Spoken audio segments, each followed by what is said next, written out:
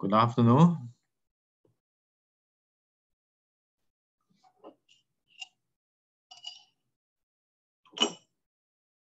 Hello, guys. Can you hear me?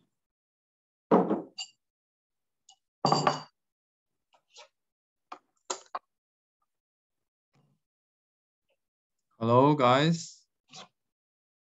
Hello. Can you hear me? Thank you.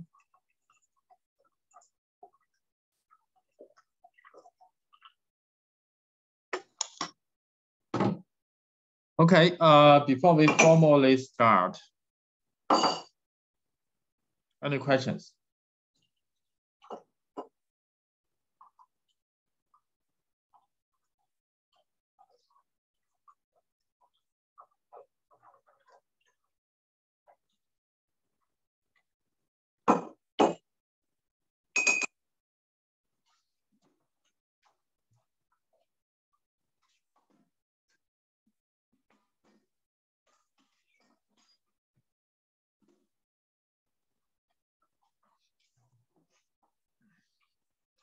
So everything is okay?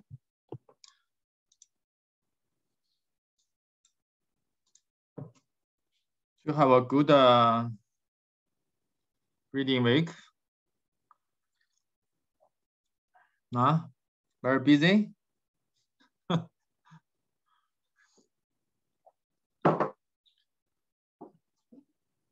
very busy reading week. Okay, that's good. Yeah.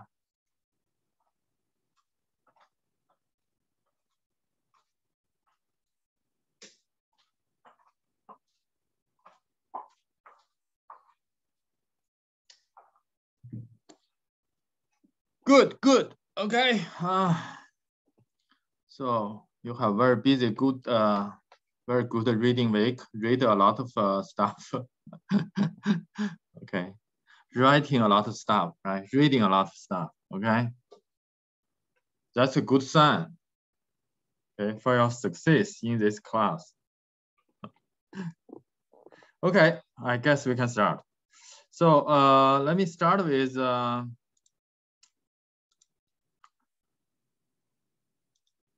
let me start with our current.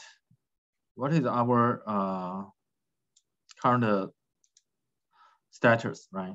So uh, first, let's go to our Blackboard. Okay, uh, can you guys uh, see the uh, Black Blackboard homepage, course homepage? Okay, so uh, at this moment, okay, all assignments have been released. You can see we have bonus assignment four, right? Uh, bonus assignment four will be will will will due in May 8th, okay, after final exam, okay? Then uh, assignment four, paper based, okay? Uh, this weekend, okay? So uh, finish it. Okay, very simple. Uh, it takes, uh, I don't know, at most uh, two or three hours. Okay, so bonus assignment three. Hmm? Okay, bonus assignment three, I thought is, uh, oh, bonus assignment three also is this weekend, but this is uh, uh, an extended deadline right? Suppose this still last weekend, so give you more time. So we put this uh, into April 17, okay? Uh, then we will have a project, right? Sorry, project, right? Where's our a project, right? Project will due next weekend, okay? So everything uh, has been released. Uh, of course, we will have one more lab. Uh, either is in this week or next week. Uh, then uh, the tutor will give you one more lab exercise related to the concurrency. So then everything is done, okay?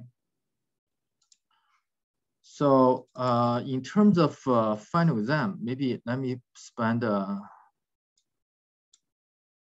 Okay, so let, let, let me go back to the assessment here. Okay, so uh, as I mentioned, okay, as a summary, as a summary. So here, we still have uh, one more lab, okay, around the fall, right? We still have one more lab. So the tutor will release very soon. It's very simple one. So just uh, some basic stuff related to the concurrency piece right, okay?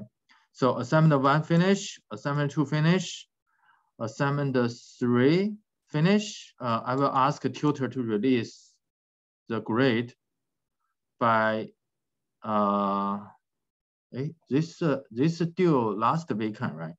So uh, after the, but generally speaking, after after the uh, late submission grace period, then give one more week, we'll release the grade.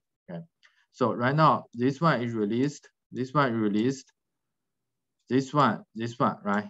Ongoing one, right? So this weekend, for this weekend, we have both due this weekend, right? So, uh, but this is this uh, a program assignment for the scheduling. Actually, the deadline has been extended for one more week. Okay, paper-based assignment is very simple, so I think you should be able to handle it.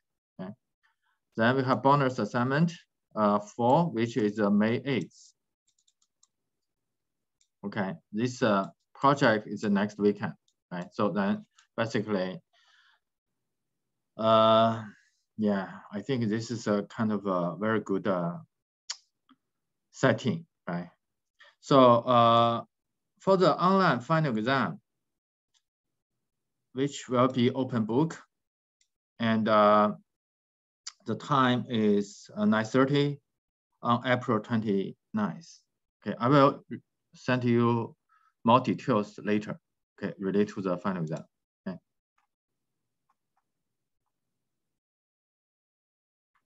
Yeah, uh, I think one student see that uh, Inho said the bonus assignment is more difficult than project. Okay, I think it depends on, um, yeah, it depends on how you look at this, right? So, um, but uh, yeah, you have more time to do it, right?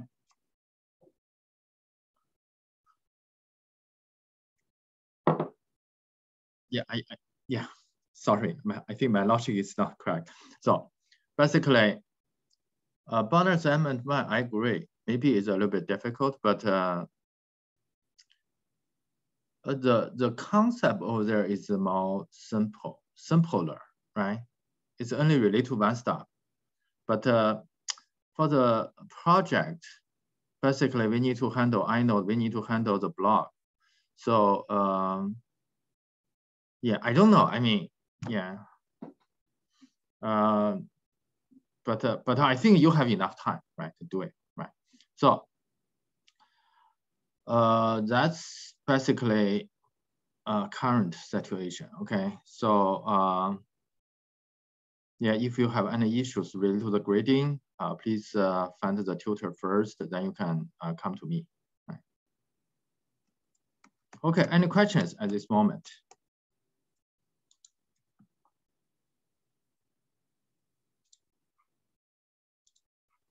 Okay, so uh, looks like everything is okay. Let's uh, continue to talk about concurrency. So what is our, our today's plan? So basically we'll finish lock, how to design a lock. Then we'll go to conditional variable, uh, then introduce some typical application related to the conditional variable. So uh, give you a very brief review. So last time we talked about lock. Whenever we have a, a shared variable, um, then if we don't allow this to be uh, modified by multiple threads at the same time, then we can use a lock. Basically, uh, use lock, we can protect a, critic, a critical section we call, okay? So the critical section means at a particular time, we only allow one thread enter into this session. Okay. So uh, basically a lock, we have two state, available and acquire, right? So, or we can call it free or held, basically, or locked and unlocked, right? Okay, so when we do lock these operations, this operation, basically we try to acquire the lock, okay? So the here, if no other thread holds the lock, then, then the, the thread ask for lock can acquire the lock. Then enter into the critical section, then we can guarantee this is a mutual exclusive. This, this, uh, this critical section can only be uh, used by this thread. Then uh, otherwise, otherwise, okay, then this thread will be prevented from entering into the critical section, which means uh, if uh, a thread has acquired the lock, no other thread can enter into the critical section. Okay, you have to wait. Okay, so uh, then uh, from the P thread, basically we have P thread uh, lock. We talk about how to do initialization and so on, right? But uh, uh, generally speaking, is we we usually we have a one place to do initialization, okay, to give an initial value, okay, which means this lock is free. We initialize. Then uh, whenever we want to enter into the critical section from different thread, then basically we need to uh, acquire the lock, right? You can see p thread mutex lock. Okay. Then after we finish our operation inside the critical section, then we need to unlock this lock. Basically, these two uh, operations, lock and unlock. Because we are operating system, we have to provide this function, this system call to user. Okay, we have a guarantee we can provide a lock which is uh, uh, to satisfy three uh, criteria. First one, mutual exclusive.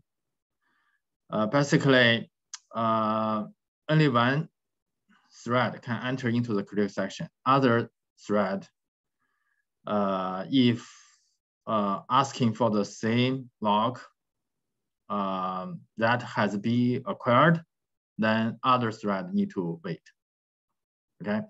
Then second, when we design a lock, we should try our best to make it fair, which means, okay, um, if a lot of thread try to acquire the lock, then we guarantee uh, each thread have a fair chance to obtain this lock.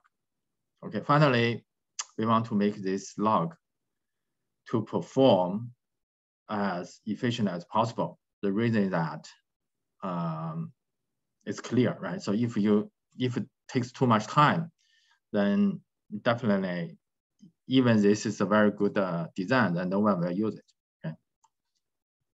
So we also talk about disable interrupt.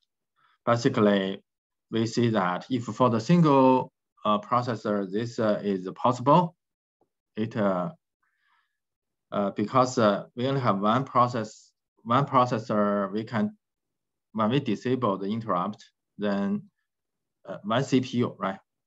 We disable, then no interrupt can enter into the system. However, this, by doing this, we put too much trust on the application because application see that I, after that, I will not uh, exit I will not enable the interrupt, then no one can can change this, right? So basically, uh, also this is uh, the operation is slow, uh, particularly for multiple processors. It's impossible. You can you want to disable all interrupt from all CPUs, okay? At the same time, it's impossible, okay? So then uh, we go to the design, then people say, okay, you may wonder, so why this is just so difficult, okay? You just want to design a lock. How about I give you one lock, right? So we only want to have two state.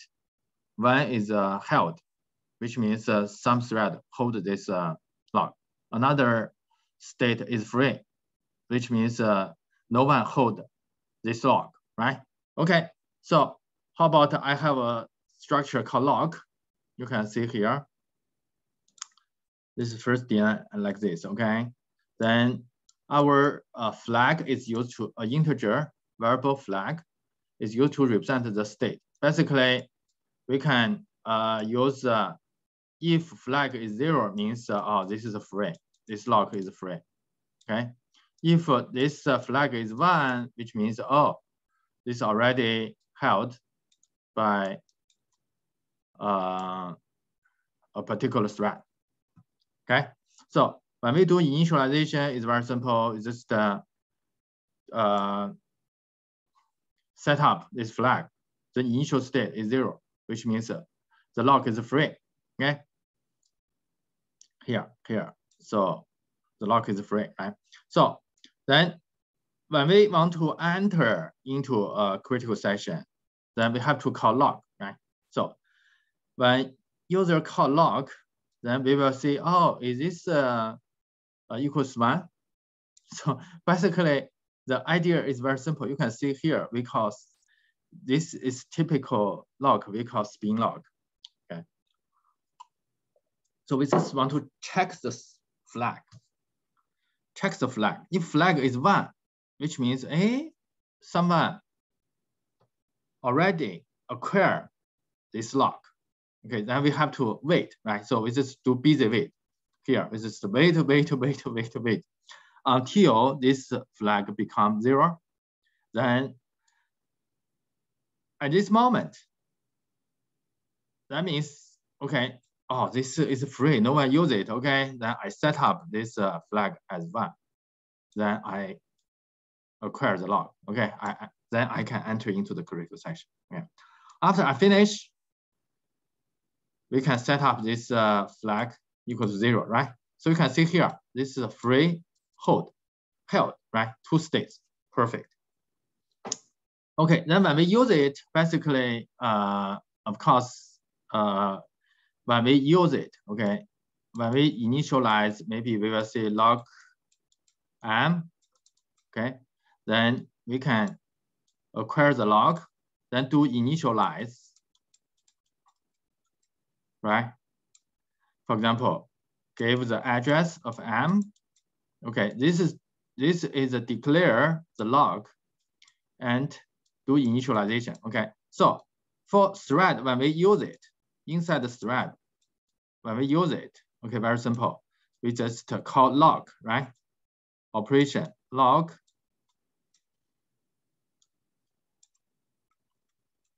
This is our critical section here critical section. So basically, this is our section. We want to be mutual exclusive. Then after we finish, unlock. That's it, okay? Simple, right? Okay, so uh, basically after we have this design, we can like ask user to use it. Okay, user can first uh, uh, declare variable, then do initialization. This only do once. Okay, usually we have a bin thread, we can do this.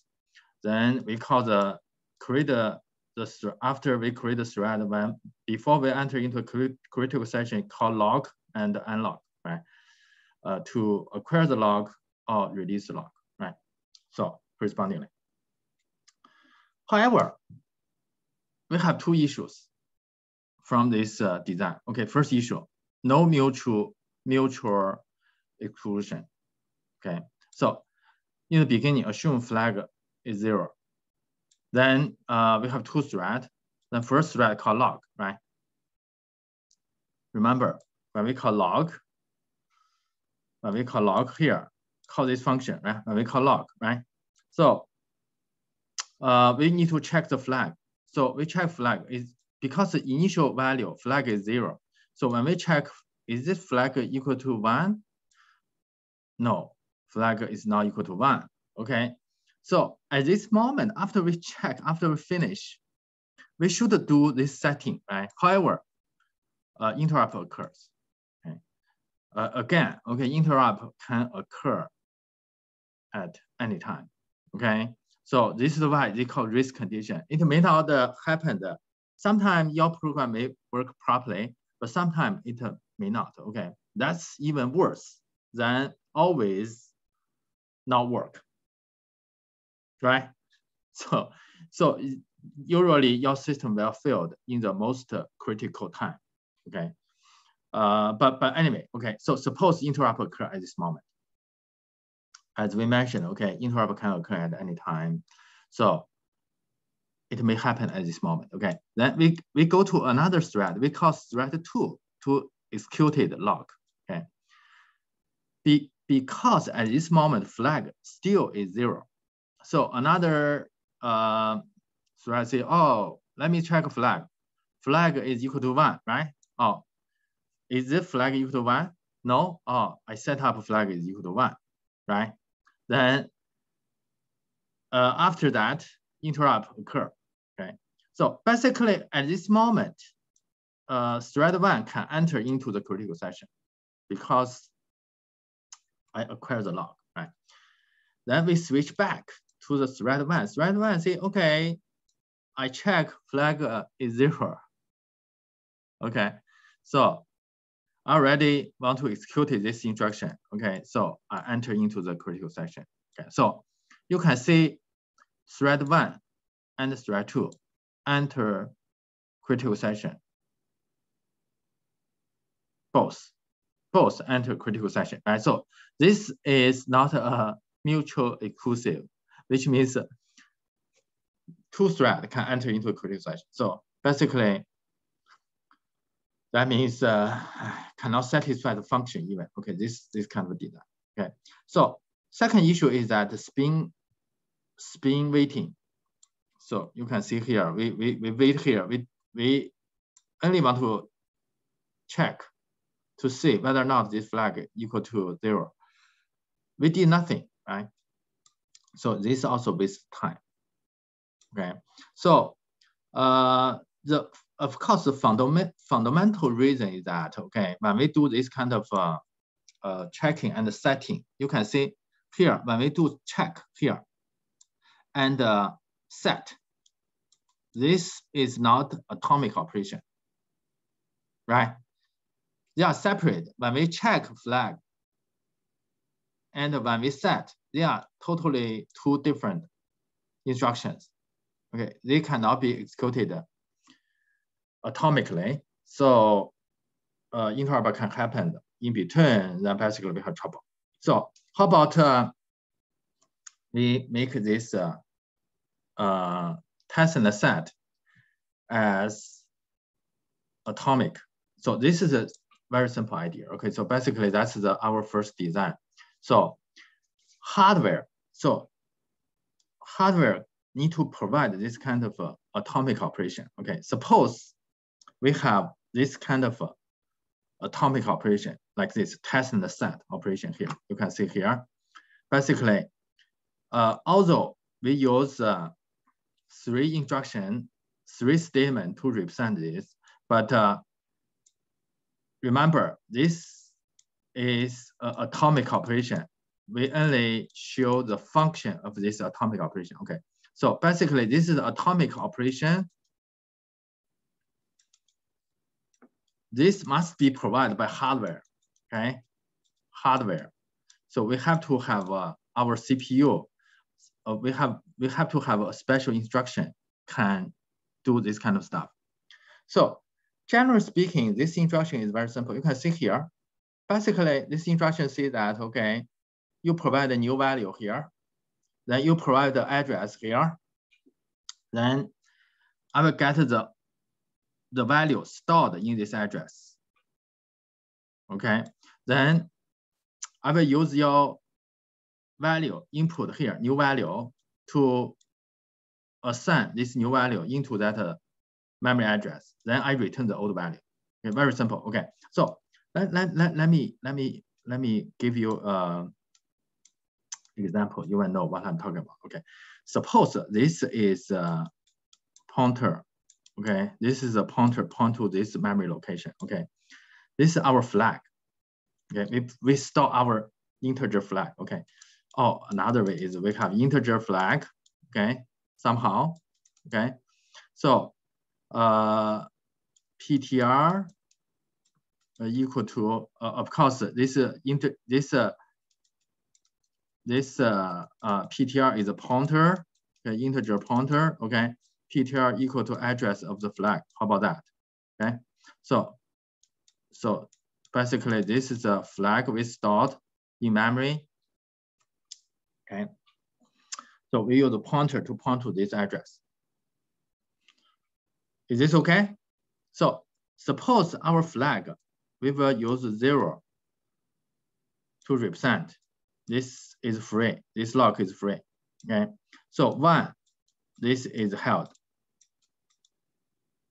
Okay.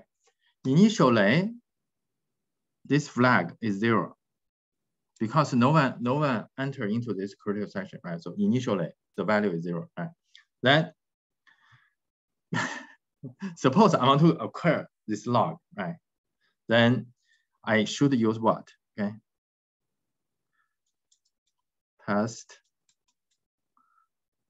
and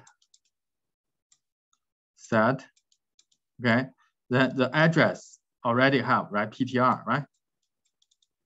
Okay, what is the value here? Hello?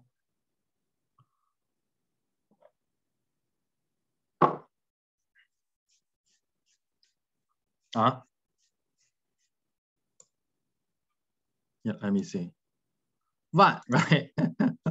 okay, so yeah, you, you can see that this is how we use it, but this is the atomic operation. That's the, that's the only difference from the previous example, right?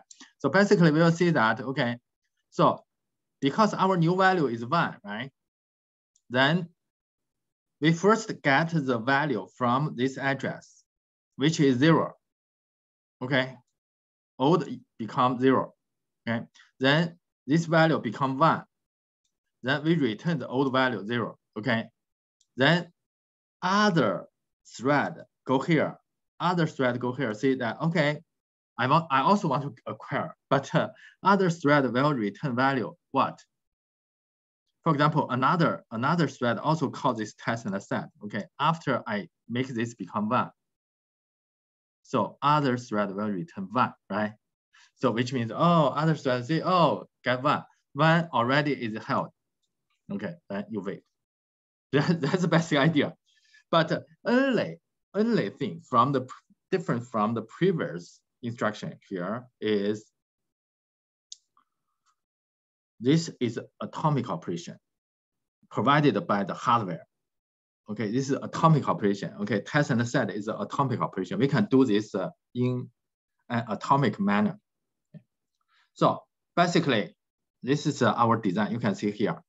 Okay, so initially still we have flag here.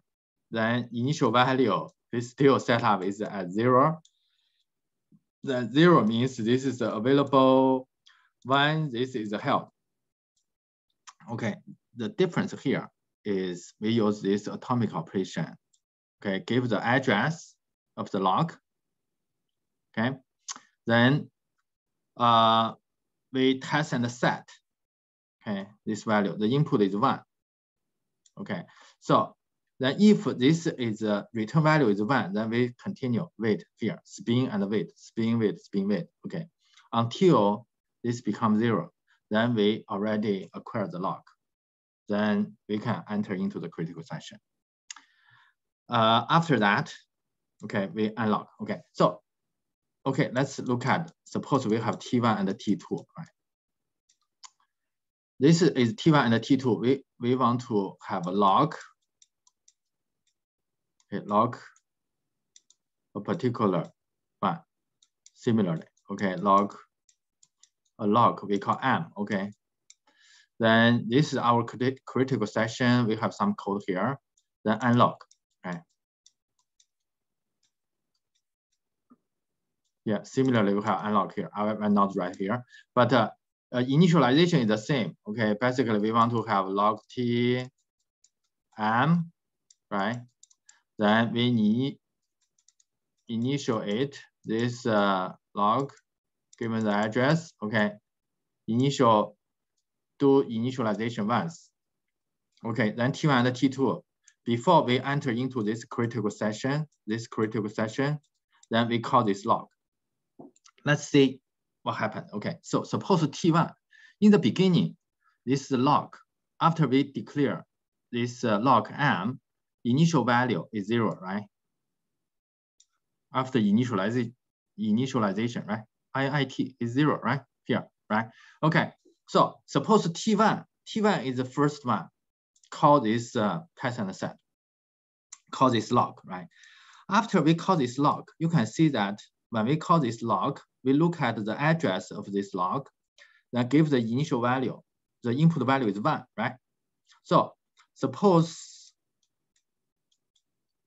this flag in memory at this moment is zero, okay? So T1 first executed, call lock. Then when we call this, you can see here, the input parameter is one. Okay, so one, right? Then we will go back to look at look at our function. Yeah, so somehow.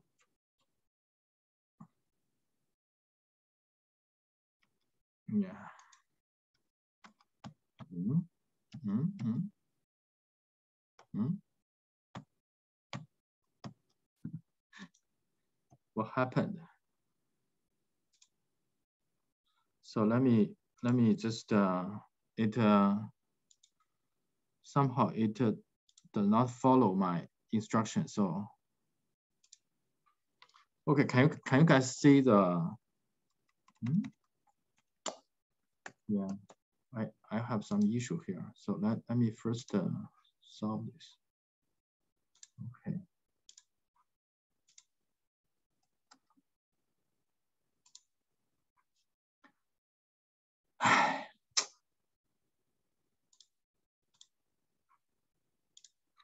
Okay, give me a second, okay? So I'm a, uh, have some issue here.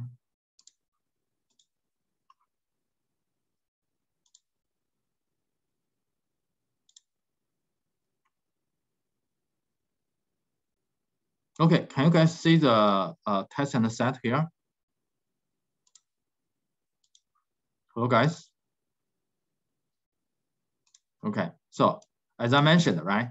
So basically, suppose suppose this flag, flag, right? Flag is zero. So we have T1, right? T1 causes, look at the value. T1 provides one, right? The, the value here, if this uh, new value, new value, so first we get the original value, then we assign the new value to this address, right? So basically, if T1 is the first one, T1 will set up one here then get the old value zero. So from this function, we will return zero because original value is zero, right? So return zero, then set up one. Okay, T1 will enter because if we return zero, this is not equal to one. So we break out from this lock, then we can enter into the critical section. Okay, so this is why T1, after call lock, T1 enter into the critical section. Then T2, after that, T2 call lock. T2 call lock, T2 also input one, but T2 see that, okay, so what is the return value from T2? One, because the, the value already is one, right? So then T2 will wait here, busy wait, right? So T2 cannot enter into the critical section. T2 need to wait until uh, T1 release, then T2 can get lock enter into the critical section. So that, that's how it works. Right? So you may say that, how about T2, T1 and T2, both uh, at the same time, okay, issue this instruction. Okay, then when we go to memory, we have to uh, execute those instructions one by one. Okay, we have order, right? So uh, or you can think about they can execute it at the same time, but uh, only one instruction can succeed, okay? So because this is atomic operation, right? So basically, no matter what, okay, either T1 and T2, only one instruction can set up this value, okay, then enter into the critical section. Okay, so basically this is we call atomic operation.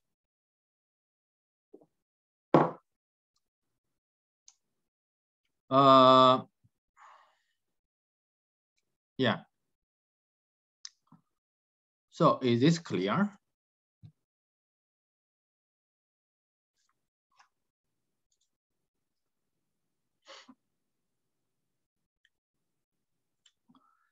Yeah, interrupt. Um, no, interrupt cannot. So this is atomic operation, right? So, so basically we, we guarantee there's no interrupt. Yeah, so I, I think one student asked the question, see that uh, can interrupt occur or not, right? So I don't know why I could not. Yeah, so see, one question is that when we when we when we do this uh, operation, so uh, uh, between between here, okay, or between any other instruction. So can interrupt occur or not? Okay, so remember this is an atomic operation, right? Atomic, atomic, okay, which means it cannot be separate. Okay, there's no interrupt because this is only one instruction. Hardware will guarantee this for us. Okay. So to, to look at these nodes, to work properly on a single process is require preemptive scheduler. So why?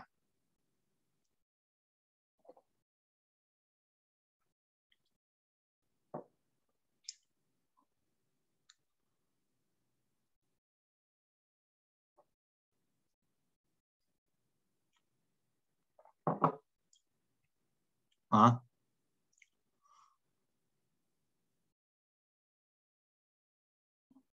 Any idea?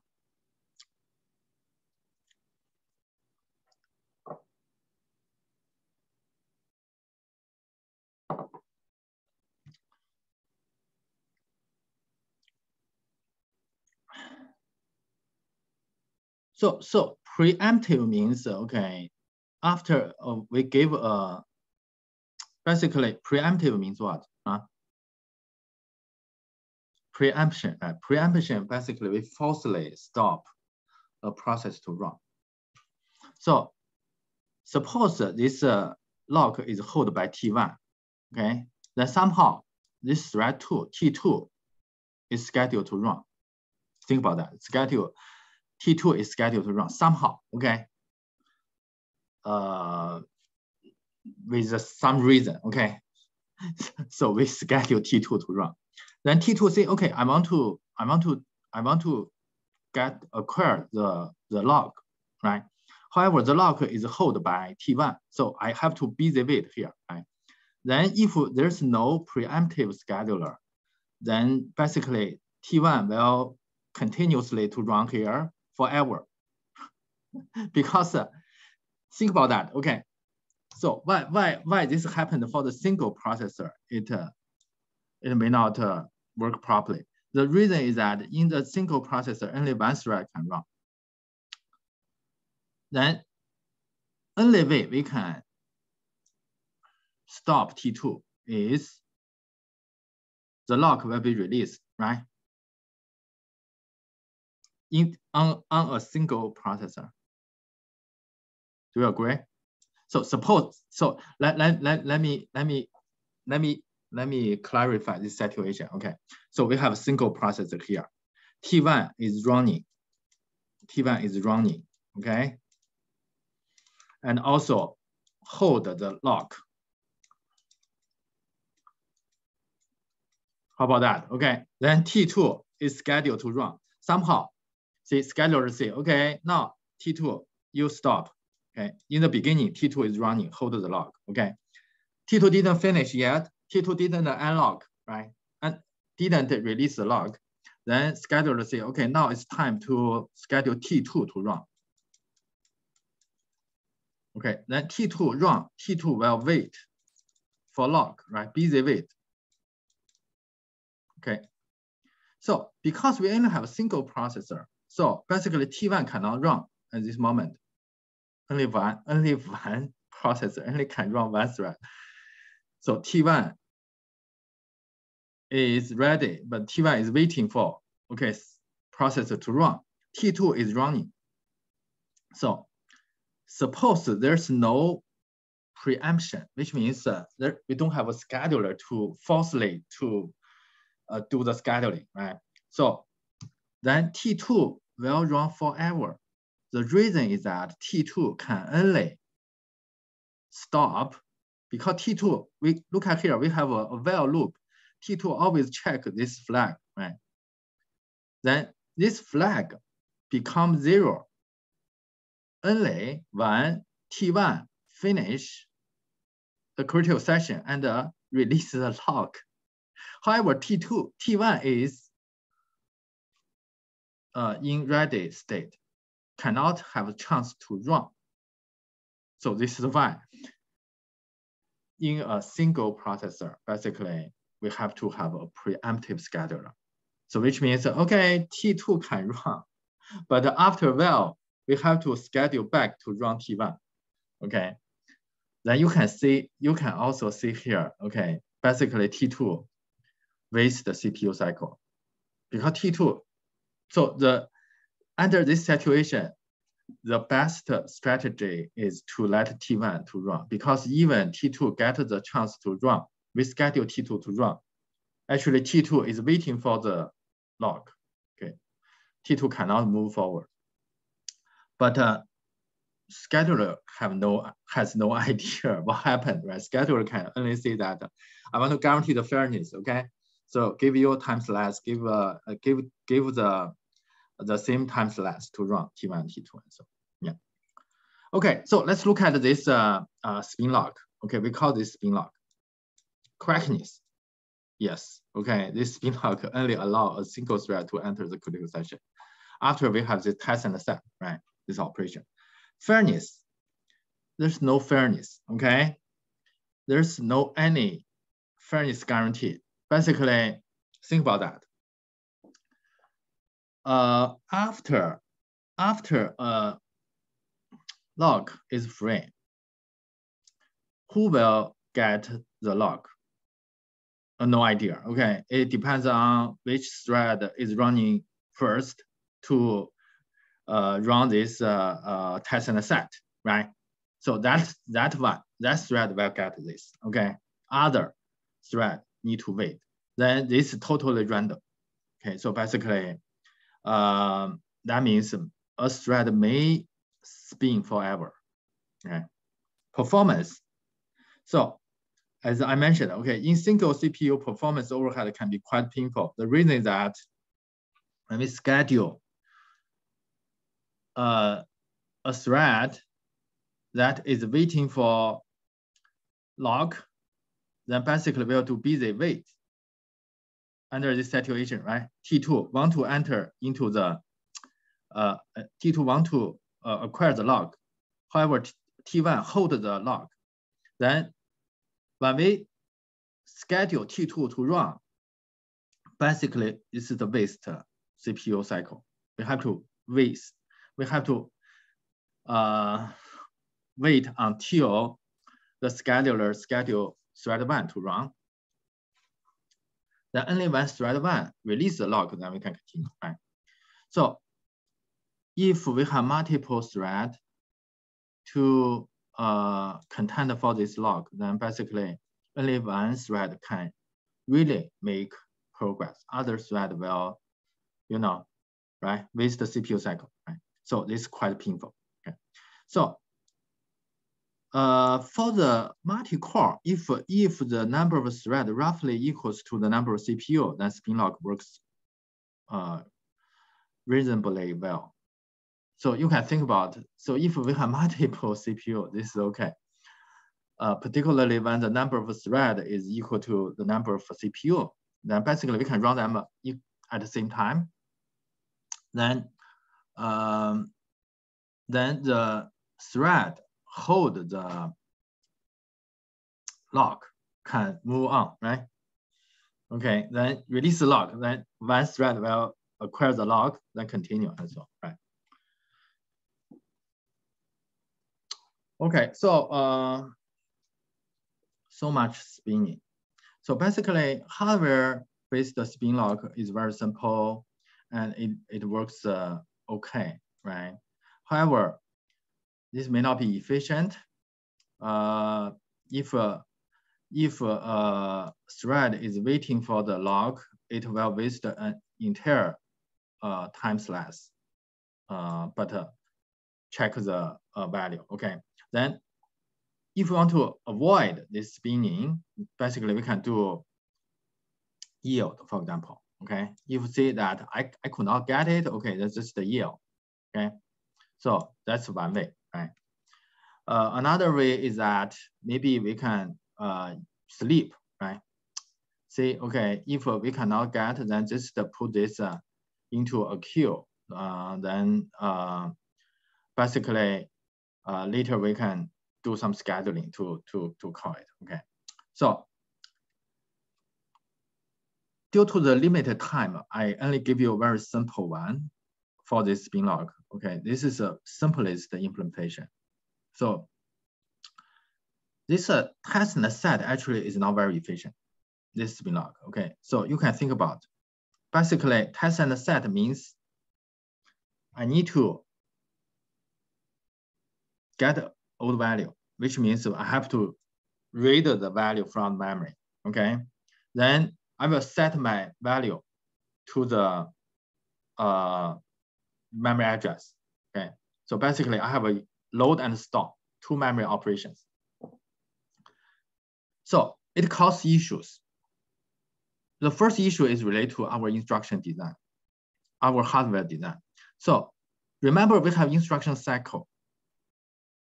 In the beginning we talk about, right? So basically we fetch instruction, then uh, decoding and so on.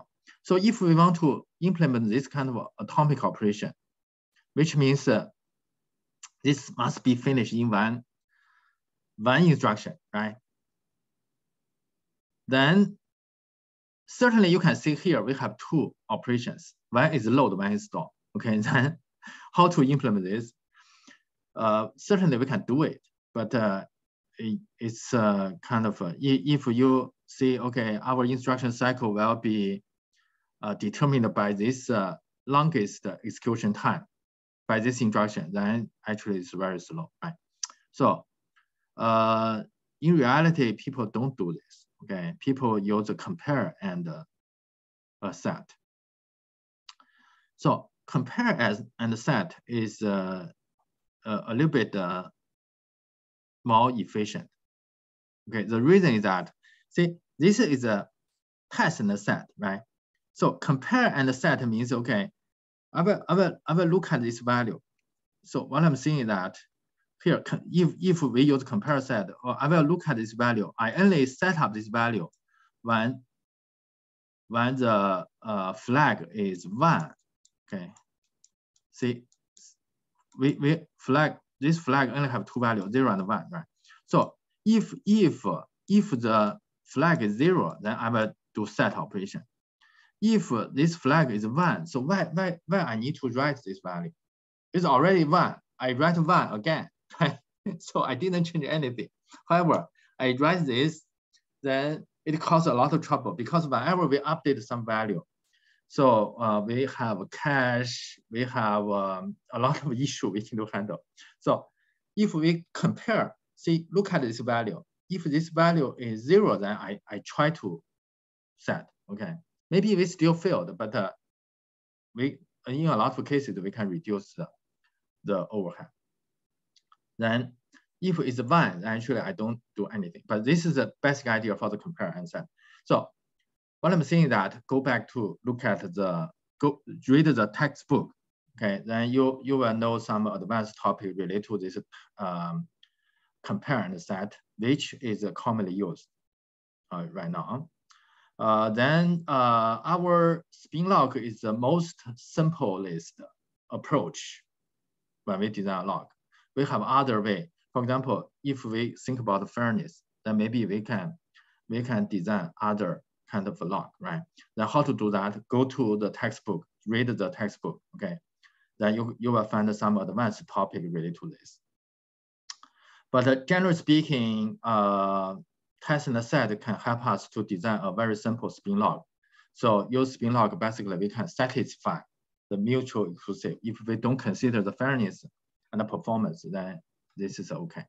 So this also is the foundation for other advanced lock design, okay? So uh, with this, I want to uh, end this part, this, this uh, lock design. Uh, I know you guys may have some questions uh, yeah, but uh, I will today I will put uh, the answer QA session. I put all question into a QA session because uh, I need to finish other part conditional variable. Okay. So, uh, but anyway, let's have five minutes break. Then let's continue talk about uh, uh, second uh, topic. Okay. Then uh, if you have any question, then please stay in the QA session, then we can discuss more in QA session. Okay. Okay, five minutes break. Okay, let me uh, post the uh, recording. Let me resume the recording. Um, yeah, I look at the question. I think one question is related to the King Long uh, why two threads have to compete for the lock in single CPU if it's scheduled by scheduler.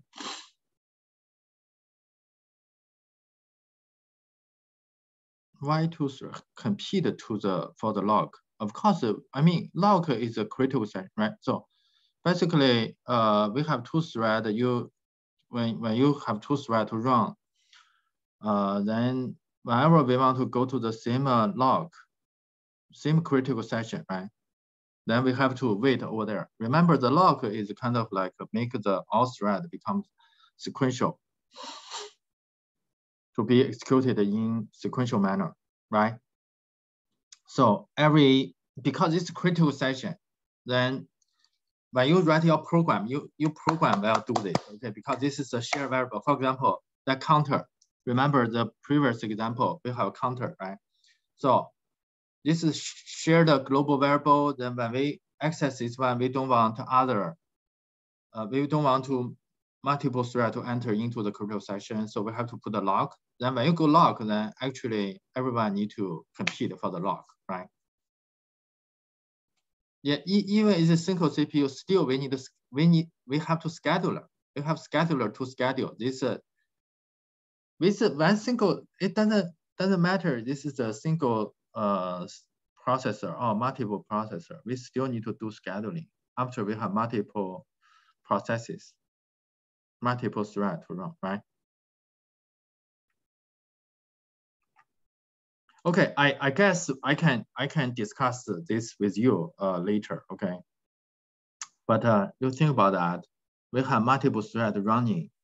The scheduler job is not related to the critical section. Scheduler only see that I want to uh, guarantee fairness, or I want to give uh, like uh, each process some time to run. So basically, that's scheduler's job. So scheduler will uh, pick up a process, a thread to run, right? That's a scheduler job. Then thread need to compete for the lock because thread need to enter into the critical section. Right? So this is two different level. So anyway, okay, so I will talk about this later, okay? So let me continue to talk about another very important uh, um, function called conditional variable. So can you guys see conditional variable, the slides? Hello? Yeah, I just want to make sure that we are on the same page. Okay, thank you. Okay, so uh, let's see, conditional variable now. Okay, so uh, why we need a conditional variable? Basically, the reason is that in a lot of cases, Not this. Uh, I don't know why this is, uh, didn't work properly. Yeah. So in a lot of cases, right? Uh, if a thread want to check whether a condition is true or not, um, then we need to wait. Or for example, a particular operation is join operation, p thread join in main thread. After we uh, initiate a server thread, then we call join operation, p thread join, waiting for those thread to be finished, right? So basically that's a typical uh, operations. Okay, so uh, particularly for the main thread, uh, then we need to check whether or not all those threads have been finished. Then before we continue, basically that's that's the idea. So uh, sometimes we need to check this condition, then we can continue. So we introduce a conditional variable to handle this kind of situation. Then, for example, uh, suppose uh, we only have uh, one thread. Okay, of course we can create multiple thread. Uh, but generally speaking, here parents want to wait for the child to be finished. Okay, so we call p thread. The function is just to print out the child is doing, child is running, right? Then finish. Okay, then uh, main thread need to wait right? Say uh, P threads begin and then in between is a child. So then how to implement this kind of uh, um, based on this condition, based on this condition, right? Based on the condition child, this thread has been finished, then we can continue, right? So this is we call, we can use conditional variable. So for this particular very simple example, basically we can use this uh, uh, this this approach, right? Well, right? Spin, right? So first, this is not efficient. Then, then we, we, we use a variable, then we just check this one. Is not efficient, right? Second, is uh, uh, for it may works for this simple situation. For example, we only have one thread. Okay? But uh, if we have a multiple thread, then it may not work properly.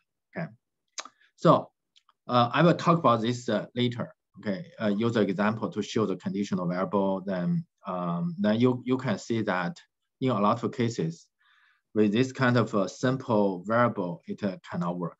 Okay. Yeah. very my okay? So conditional variable. Uh, the idea is very simple. We have a condition. Okay. So wait for the condition. So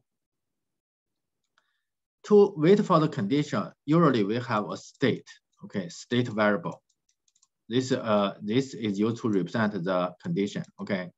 Then uh, use our uh, function, we can wait for this uh, condition to be changed, okay. Then associated with this condition, we have a, a queue uh, by which thread can uh, wait uh, the state uh, to be changed. Okay. Then another function related to this condition variable is signal. Okay. One is wait, one is signal. Okay. So signal means uh, when the state has been changed, then basically we can wake up one of those waiting thread. Okay, then allow them to continue. This calls signal. So uh, operation, you can see here, uh, basically when we declare conditional variable, we can use pthread con condition underscore t, cond underscore t, then c. Uh, this is our condition variable, okay? So of course we need to properly do initialization, okay?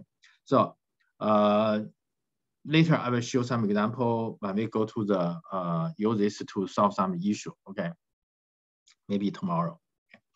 So, but uh, uh, operation you can see here, we we can do this uh, uh, p thread, uh, conditional wait, uh, conditional signal. So as I mentioned, we have two operations. One is waiting for the condition, one is sig signal the condition, right?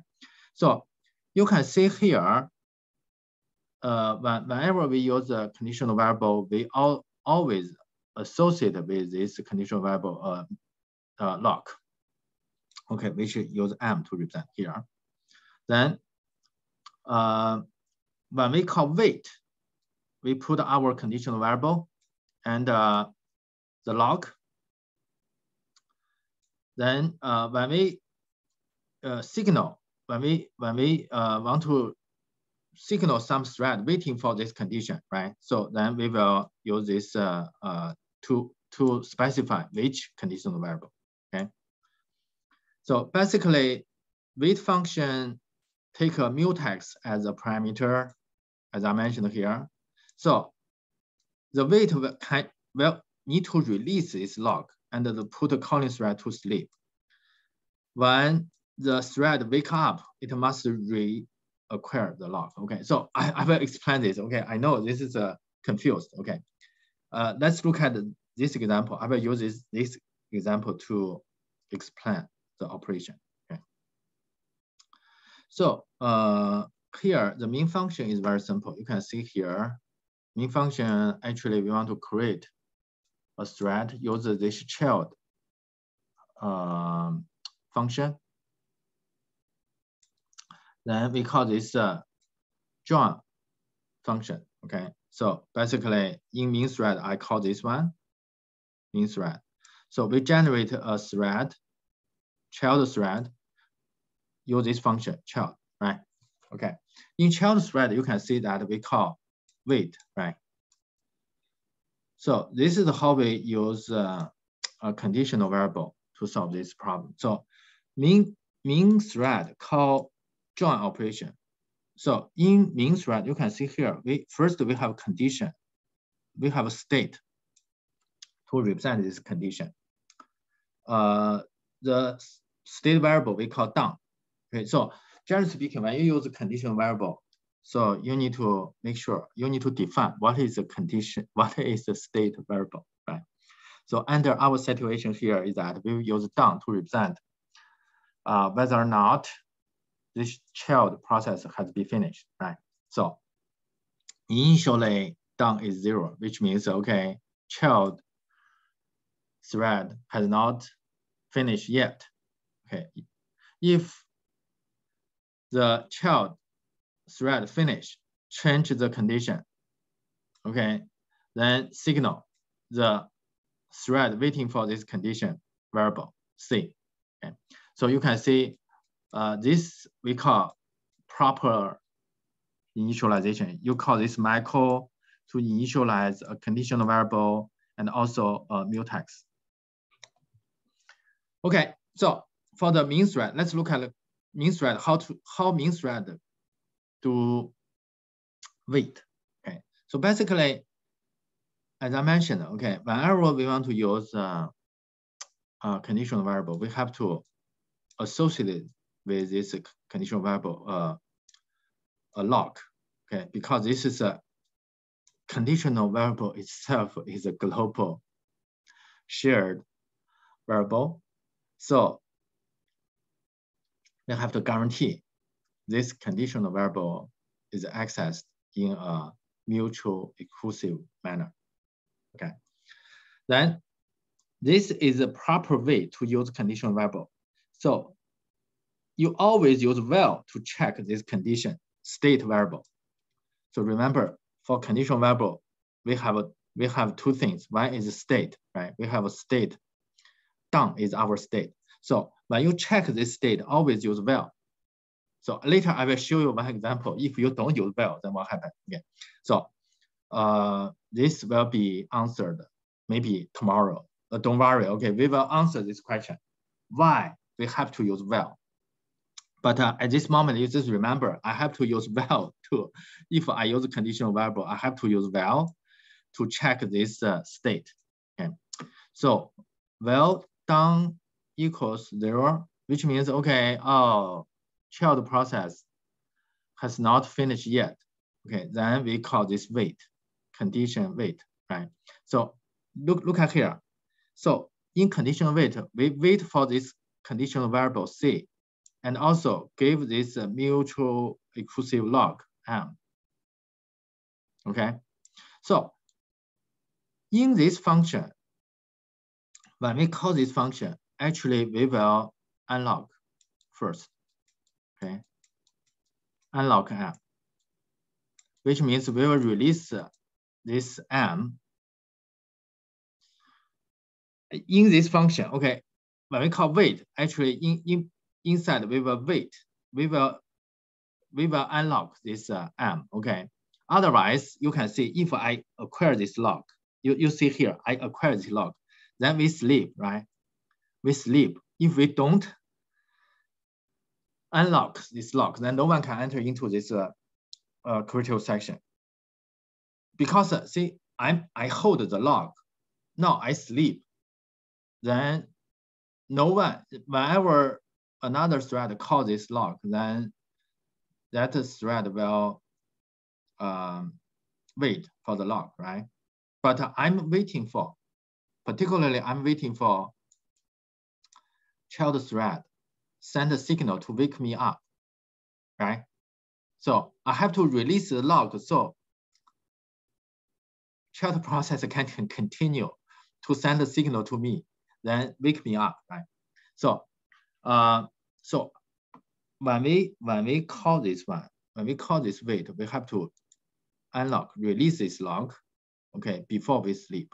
Okay. After after we wake up by, for example, later, child child thread send a signal, say, oh, oh, you need to wake up. Okay. So for all those threads waiting for this conditional variable, one of them need to be waking up. Okay. Then of course here we only have parents. So parents will be waked up. So before, before, okay, we continue, we have to acquire this lock again. Okay. So wake up is okay after wake up, then we have to call lock to acquire this m again. Then we can continue. Okay, so that's what we are talking about here. You can see here. I want to see here. The wait can take, the wait takes a mutex as a parameter. Take a, a, a lock as a parameter. The wait call release the lock and put the calling thread to sleep. Okay, so before the sleep, you have to release the lock, okay? Then when the thread wakes up, it must reacquire lock. Okay, this is exactly what I'm talking about. Okay, so if uh, if uh, this thread is waked up, then this thread need to reacquire the lock before continue. Okay, so uh, don't ask me why. Okay, so it will be clear later, but generally speaking, this is a design for this conditional variable. So the general idea is that this conditional variable is a global variable. So whenever we want to access a global variable, then we have to use a mutual exclusive lock to protect it. Okay. So this is the why we want to uh, use this, uh, when we design this function, this function will be designed like this way. Okay. So because of this, you can see here. So if a thread running first, then main thread enter into the critical section. Suppose, okay, uh, child thread didn't run. So uh, thread enter into critical section, checks the state.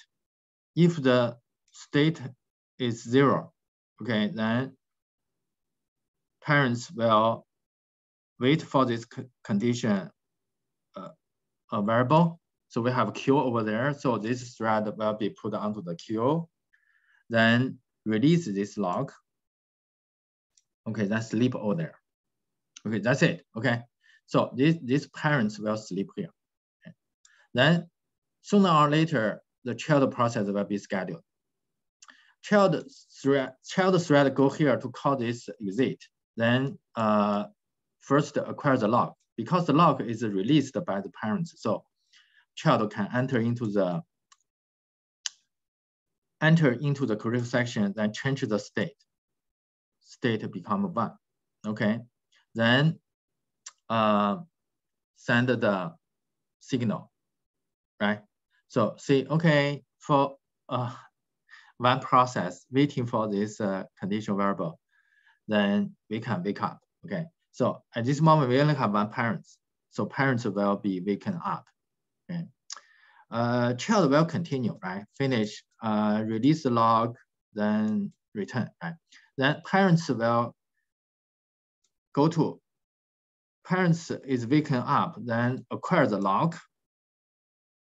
Then basically here, because uh, it's very simple, it's just say, oh, this finished, right? So after we acquire lock, we will go back to check this data again, okay?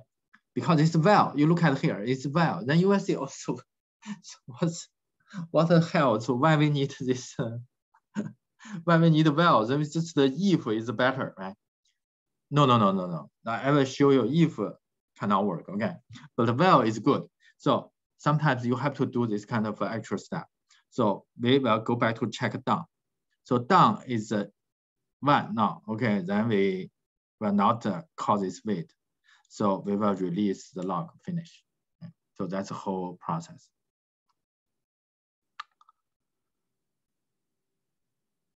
Okay, so uh, I think I already go through this process, uh, but uh, see, let, let me summarize this process. So basically, parents create a child thread, then continue run, right? Then call thread join to waiting for the child thread to complete. So first acquire the lock, then check whether the child is done, then put itself to sleep by wait, right? Um, before that, release the lock, Okay. Then child print the message child, then call this uh, exit. First acquire the lock, then change the state variable down. Okay, then signal the parent thread uh, that is waiting for this uh, uh, conditional variable, right? Basically, that's how it works, right? So uh, you may see that uh, maybe we don't need uh, this condition. Uh, we don't need, why, why we need the state variable down, okay? So this is totally unnecessary. So how about we directly use a conditional variable to look at this code here. So suppose we use a, we don't have this condition. We don't have this state variable down. Then what happened? Then uh, parents again, okay, suppose we don't have if and so on, because we don't have we don't have state variable. Now we cannot have if or while. So we, we directly call wait, right? Then uh, child is kind of a send signal, right? So this this code suppose suppose child run first, okay? Child run first suppose child run first, this run first, then uh, parents didn't run at this moment, okay? So you, you can see child will say, okay, I want to uh, signal, right? Signal means I want to go to the, uh, the queue associated with the condition variable C, then wake up one of uh, thread on this queue. Okay. So because parents didn't run, right? Parents didn't run at this moment. So no thread is waiting for in the queue. So basically, because no thread waiting for the finish, right? So child happily finish, then uh, go ahead, okay? But see, the next time, okay? After a while, then parents is scheduled to run. Then parents uh, enter critical section, then wait for, right? Wait for this conditional variable, right? So what happened? Huh? Child already finished. So parents is waiting for this conditional variable. Then no one will wake up the parents because child run First, child already want to wake up the parents, but parents at that time didn't uh, execute it. So parents didn't put it into the queue. So uh, child, child finish. So in this, under this situation, then parents will run, wait forever, right? So the reason is that we don't have a state to tell us whether or not the child has been finished. So, we, so this is the why. This is why we have to put a state variable when we use a conditional variable. So second, second, how about uh, we don't use uh, well, we just use if. Is this okay? right? So uh, also suppose we don't have the uh, mutual exclusion. Of course, this is not correct, right? This code is not correct. We don't have such function because we have to put a, a mutual exclusive, but suppose we don't have, right? Okay, then uh, suppose uh, we just run this one, okay? So we have a condition, but we use if, right? Then the parent checks the value down, okay? See, it see the value is zero, then try to go to sleep, right? Go to cause its wait, right?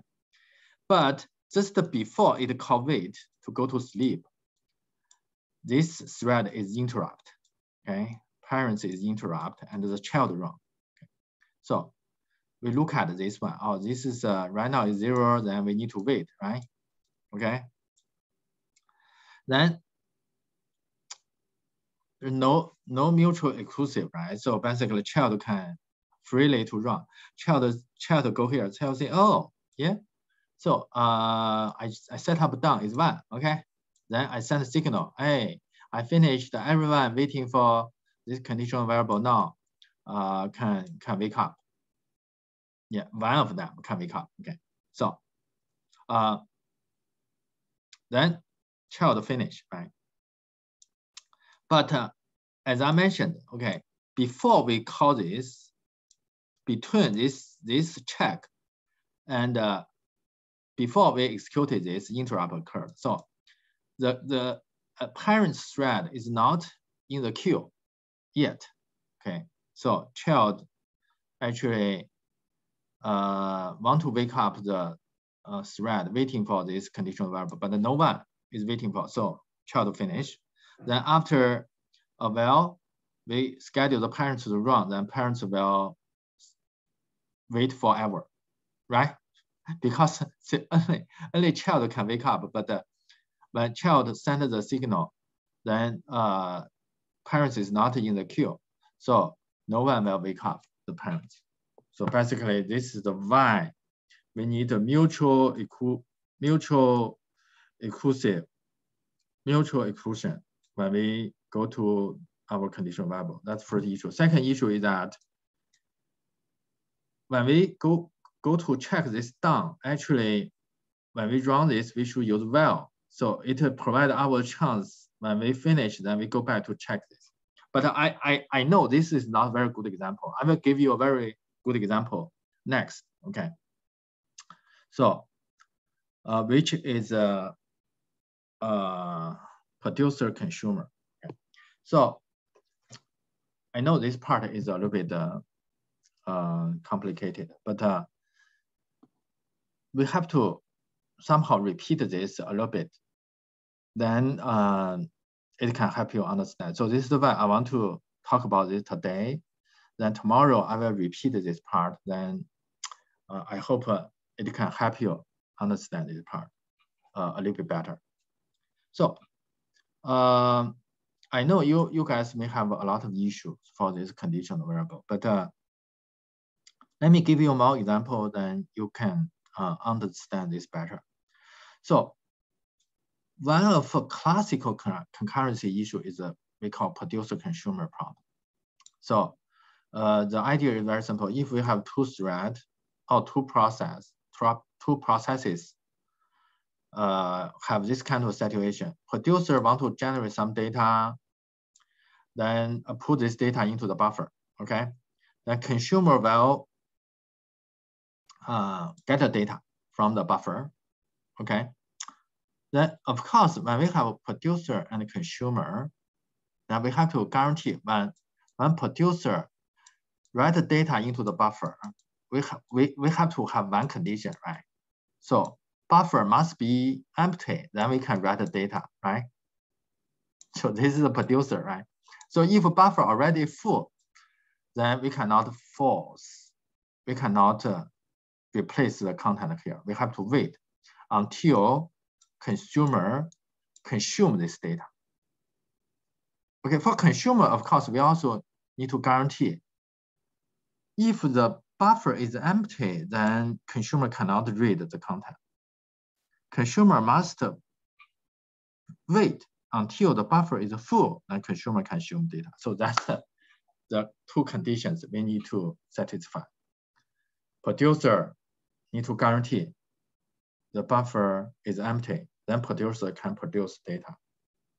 Consumer need to guarantee the buffer is full, then consumer can consume data. If buffer is empty, consumer need to wait. Okay, so you can see this is a very typical situation for condition variable to be used because uh, she, producer need to check some condition. Consumer also need to check some condition. Otherwise, producer need to wait. Or produce, otherwise, either producer or consumer need to wait, right? Based on the condition, right? So you look at this one, you say, oh, why, why we want to do this kind of stuff, okay? So it's so um, easy, right? But uh, this is a complicated actually. It's not that easy. The first thing. Second, second, we have a lot of situation we need to hand, we need to uh, use this model. For example, uh, multiple thread web server. Then uh, a producer uh, may put a HTTP request into a queue, right? So I just put those, I, after I get a client re request, I just put this into the queue. Then another one, consumer thread, will take a request out of this queue and process them. So that that's is, of course, it's a better approach, right? Think about that. One way is that we have producer, right? We, we only have one thread to handle everything. See, user send a request. I will go to serve this HTTP request, get all the content, then send back, right? Then user need to wait, okay? Suppose I have another request because I only have one thread. Sorry, I cannot serve this request, okay? So basically another thread need to wait. Another way is that, okay, we have multiple thread, right? So basically one thread producer is only uh, to just uh, get the request from the client. So we have a lot of requests. We just put those requests into the queue, right? Producer and the consumer say, okay, I, I, I, we can have multiple consumer, right? To help us to consume those requests. So in this way, basically we can have better efficiency, right? Do you agree? Because multiple worker can work at the same time, right? Okay, so, but this actually, if you look at this from the program model, actually, this is a producer consumer model. Okay, so this is why uh, producer consumer actually is widely used, this model widely used. In a lot of cases, we need this uh, producer consumer model. Okay. okay, another uh, example is our pipe. Okay, when we use this bounded buffer. So uh, for example, this pipe. So in your assignment one, they ask you to implement this, right? Use a shell, shell program, kind of, right? Uh, use a, use a, a system call, right? So basically this part, the output will become the input number. So when we implement this inside uh, kernel, actually this is a bounded buffer, okay? So as I mentioned before, actually this is not easy a question to answer how to how to solve this issue. Actually, this is also a typical producer consumer. This is a producer, right? Generate output, put into here. Then consumer need need to like uh, if if uh, if there's no content, uh, consumer need to wait okay, until finish, right? Until the content already is over there, then consumer get it, right? Basically, that's a producer consumer model, right? Okay, so uh, whenever you have a buffer, you want to like share between two threads. So one is the generated data put here, another thread uh, get data. Actually, this is producer consumer, right? So what I'm seeing is, is this is commonly used. It's a very, uh, very useful model, okay? So uh, let me continue to give you a very simple uh, operation related to this uh, buffer. Uh, suppose we have a buffer here. Uh, we only have one buffer, integer buffer, uh, can only store one value. Later we can extend this, uh, but uh, but right now is we only have one integer buffer. Then our count also is used to represent how many is, is, is this buffer is full or not, right? So basically put operation, I want to check whether or not the, the, the count, the, the buffer is empty. So I want to make sure the buffer is empty. So if buffer is empty, then I change the the uh, the state. So the buffer now is full. Then I assign the value. I put the value into it. Otherwise, we need to wait, right? So uh, consumer operation get. So I first I, I want to check whether or not this uh, counter is one, which means uh, oh this uh, buffer is full, right? Buffer is full, then I make it become uh, empty. Then I return the buffer, return the value. Okay, so basically we use count to represent whether or not the buffer is empty, right? So then buffer itself is used to contain the value we want to store. Okay. Um, our two thread is a producer and a consumer. Okay, producer and consumer. You can see, uh, consumer is that uh, we all we always try to get data from the buffer. Okay, producer is we want loop for certain numbers and just put a number into the buffer. Okay, so uh, basically start from zero and so on, just put into. Then if running properly, consumer will print out the value, right? Uh, from zero until the loops, which is the number we, we put, okay? So later we'll run those examples. Okay, so uh, I want to utilize this example to show uh, condition, how to use a conditional variable to solve the problem. Okay? I know this part may not be easily understood, so don't worry. I will repeat this part tomorrow. Okay, so but uh, today I, I just want to give you a kind of a, a general picture for this part. Then um, tomorrow maybe we can have a deep uh, discussion about this part. So, so now let, let's look at some uh, uh, look at one solution. Then why this if cannot work, right? So, so we, we want to use a conditional variable to solve this problem. Uh, so if we don't use val, remember when we use a conditional variable, we should use val here, right? But uh, see, let's first use if, okay, uh, to see whether or not this works. Okay, so you can see this uh, producer, we first have a mutex and also conditional variable. Then uh, first, when we enter into this critical section, we try to get the lock.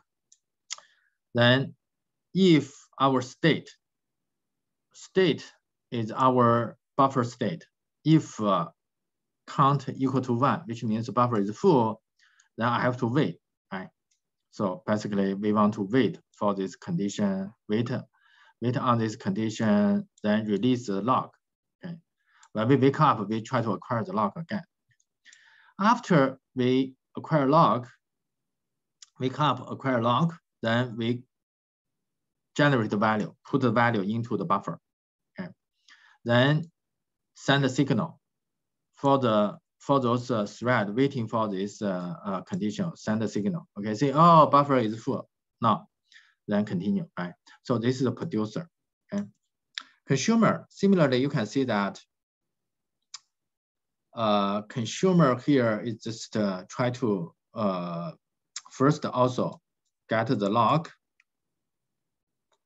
Okay, then uh, state. Remember the conditional conditional variable we have a state. State right now is clear. Our buffer is a state, right? So if counter is zero, because I'm consumer, I have to check the condition, see whether or not this buffer is empty, right?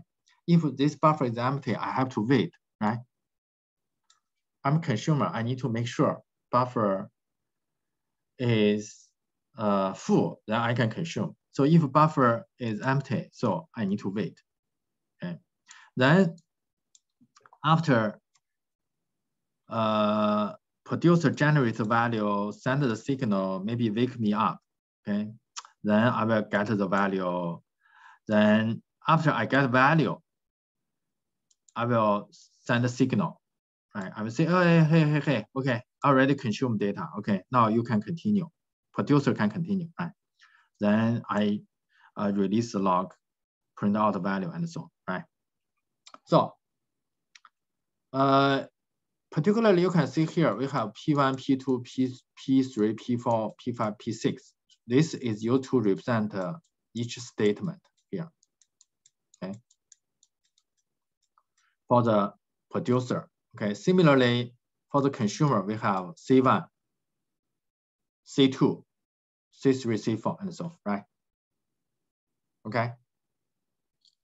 So more specifically, you can see P1 and P3 uh, is used to wait for the buffer to be empty. P1 and P3, right? Here. Okay. Basically, I want to see, uh, wait until this buffer is empty, right? Similarly, for C1 and C3, a consumer wait for the buffer to be full, right? See here, this wait for, if this is equal to zero, then wait, right, until this full, right? So uh, if we only have one producer, one consumer, this program works, okay? However, if we have more than one producer and one consumer, then it uh, we may have trouble, okay? Uh, let, let me go through this example, then I will stop. Yeah, before I continue, maybe, so I, I think I talked too, too, too long, okay? I didn't get any response. So can you guys uh, give me a response? See, okay, can you, can you guys hear me? I'm sorry, I, I asked so late, but, uh, but uh, I, I mean, yeah, okay. So I want to make sure everything is normal. yeah, I know, I know this part is a little bit uh, difficult to understand. Don't worry, okay? So after you go through those examples, you will understand. This, this part actually is quite interesting. So you can see for this program,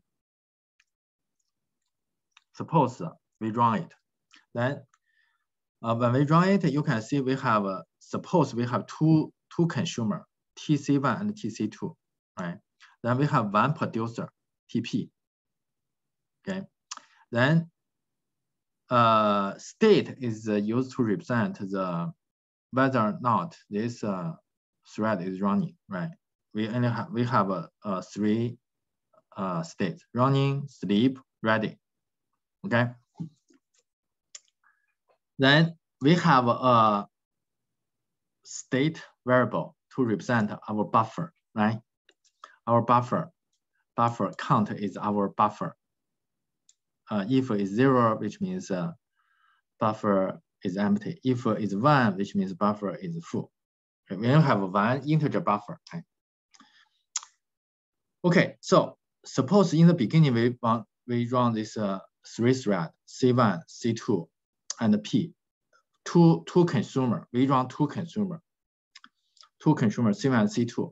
Then we have a producer. We only have one, one producer, okay? Producer. Then uh, everything, every, every thread is running, okay? Uh, so, so sorry, okay. So at this moment, uh, consumer two is ready and uh, producer is ready.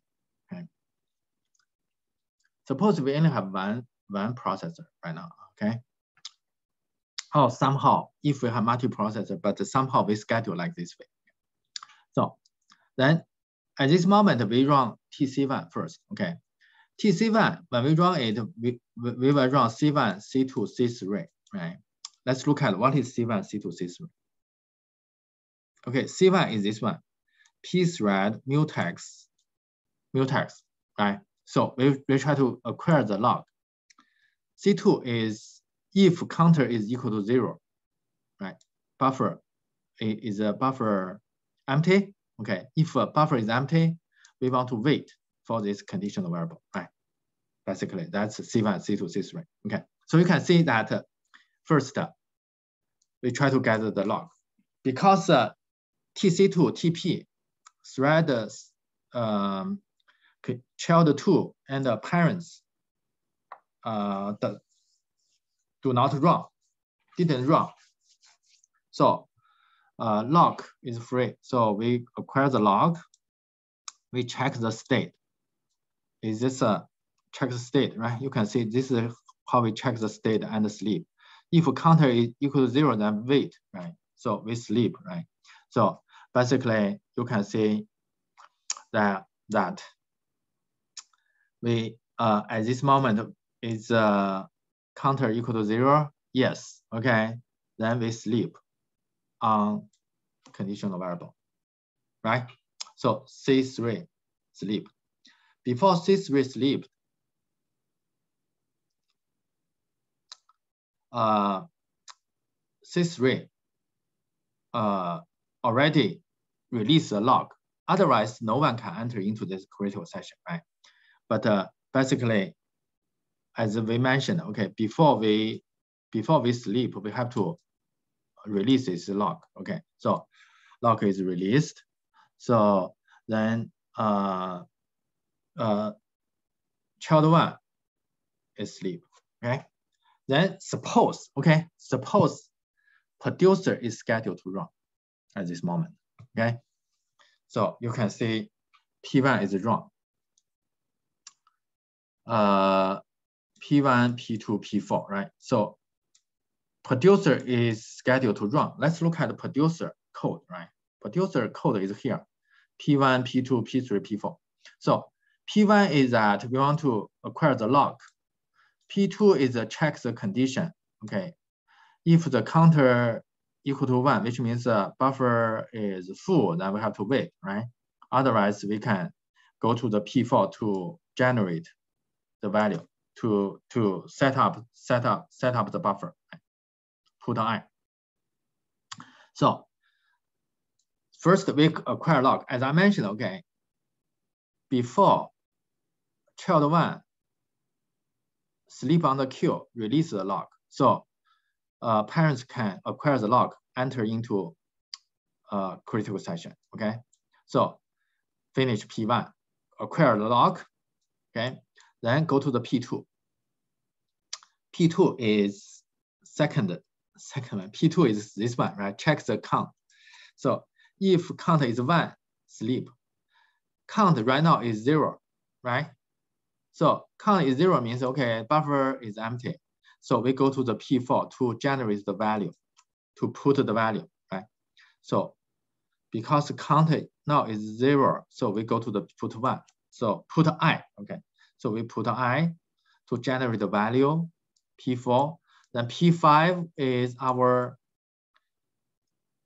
uh, P5 is our signal, right? We will wake up one thread, okay, waiting for this uh, um, uh, condition, then uh, release the lock and so on, right?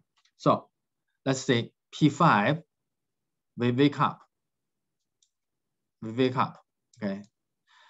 So right now, only only T7 T T child one is waiting for, right? Child one sleep, right?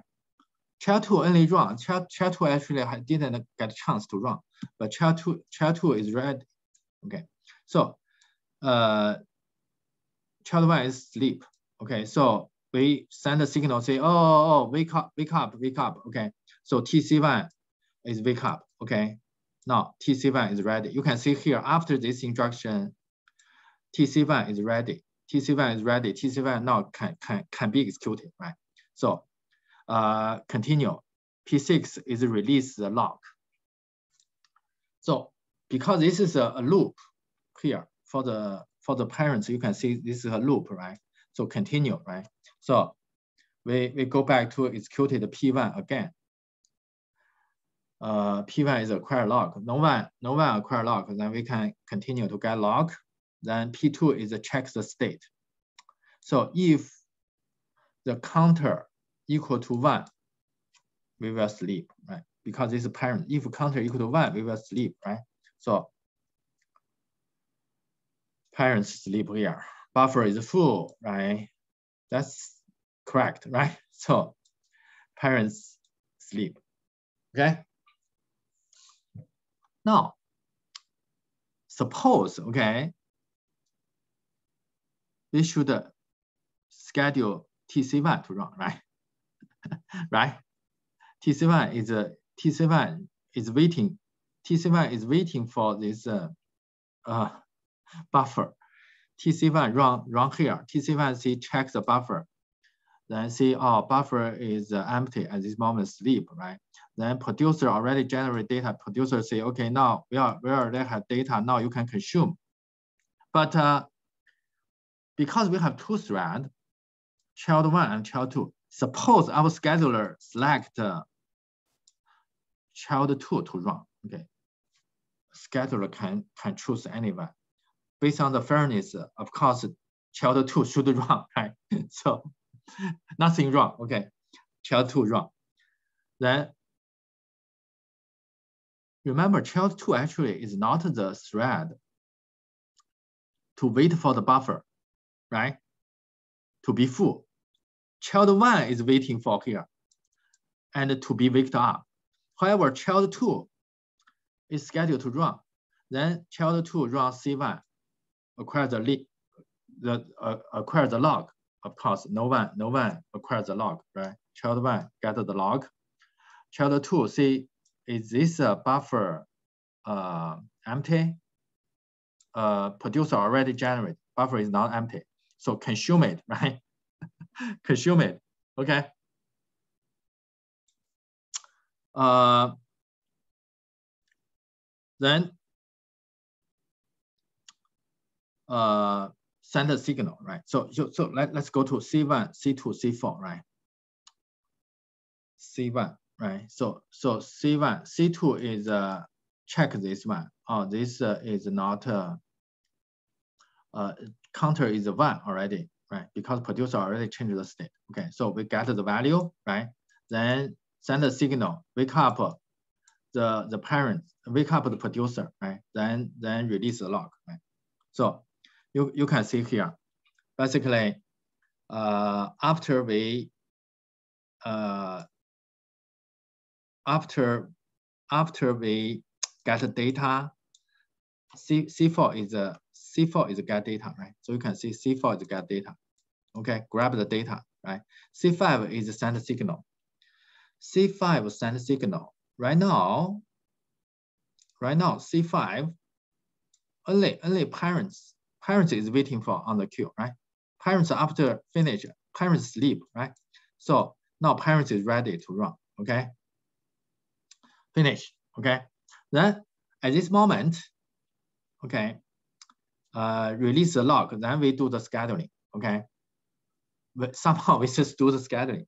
Now we go back to, to schedule consumer one to run. Okay, consumer one say, okay, hey, I, I want to get data, right? But the data has been consumed by TC2, so we have trouble. Do you agree? Because TC2 actually is not the thread should consume this data. It's TC1 should consume data. Right now, you can see the state. You can see the state already is empty. However,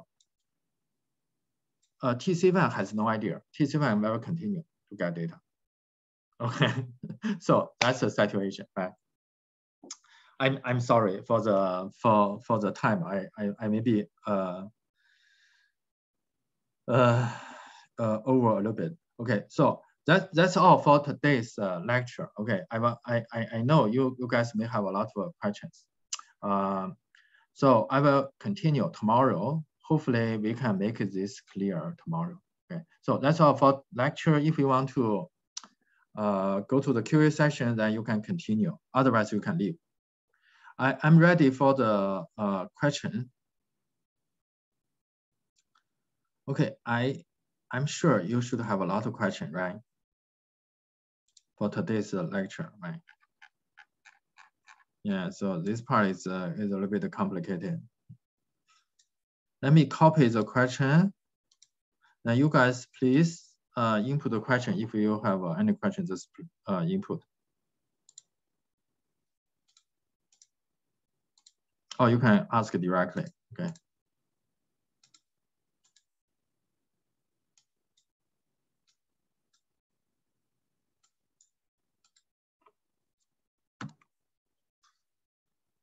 Okay. Uh,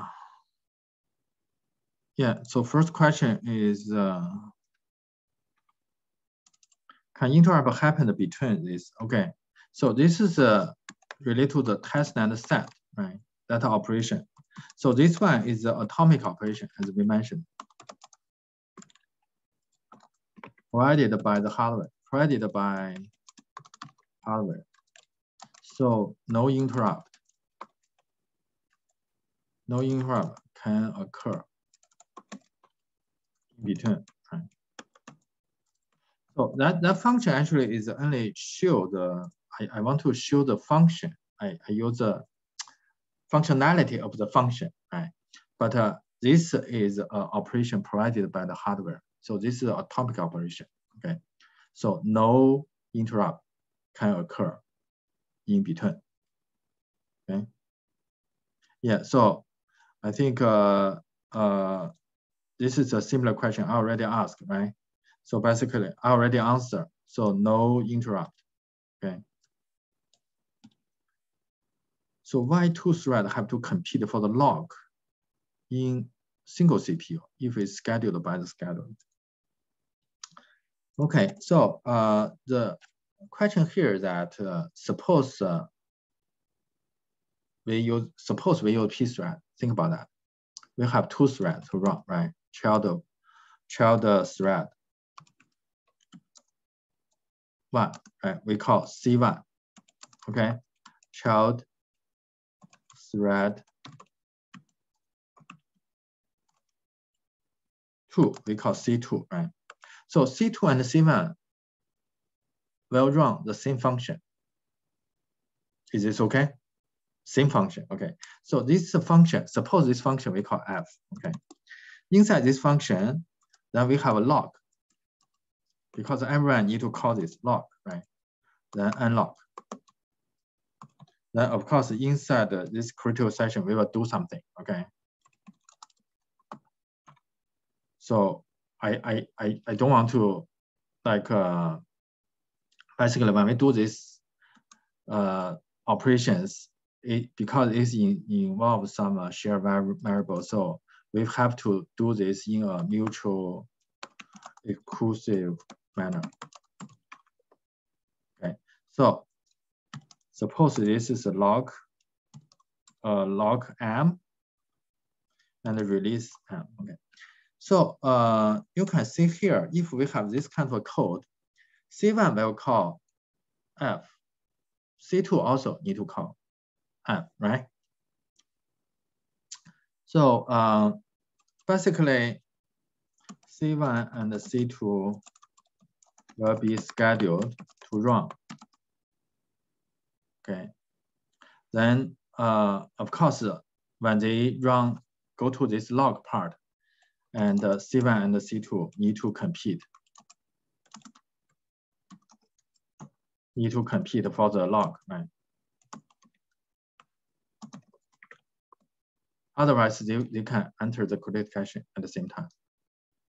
So they have to run this sequentially, right? It doesn't matter this is a single processor or single CPU or multiple CPU. Then basically, whenever we go to this section, then we have to uh, compete for this uh, um, lock. Okay. I hope I answer your question.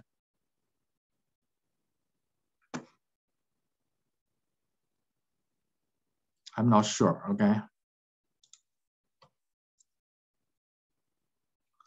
From the, but it will give up the lock even it, no, no, no. So how come I will, I, certainly, certainly I will run, I, we cannot give up the lock, right? So when I run this code here, then the scheduler schedule another thread to run. It doesn't matter. So I can only give up, I can only release lock use unlock. Otherwise, lock will be held by C1, right?